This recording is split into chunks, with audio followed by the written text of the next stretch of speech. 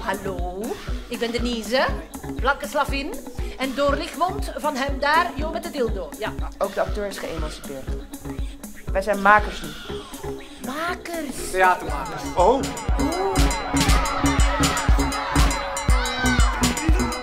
Jongens, ik ben geen Marokkaan. hè.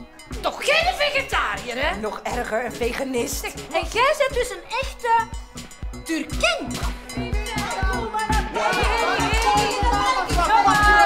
Wij gaan hier nu toch niet beginnen ruzie maken, zeker? Wil je mijn blote tieten zien, Jo? Alvorens je mijn contract gaat tekenen. eh, Denise. Ja. Hou jij het ook beschaafd, alsjeblieft? Waarom? Dat kind kan niet eens fatsoenlijk Nederlands klappen. Je kan een klap op je zwoel krijgen als je wil. Wat een kutstuk.